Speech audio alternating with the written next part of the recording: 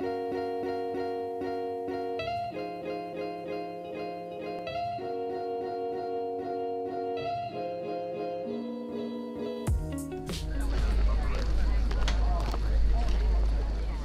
my name's Jeff Saunders. We're here at FarmFest uh, for 2017. This has been a great year for us. We've um, brought out this year quite a large range and this has been our biggest stand uh, currently at any FarmFest that we've ever had.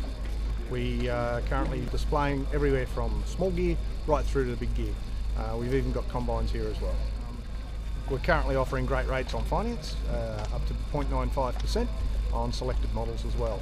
Yeah, we've got a full range of toys uh, and also some after sales parts and as well as oils, filters as well for, for sale right here today.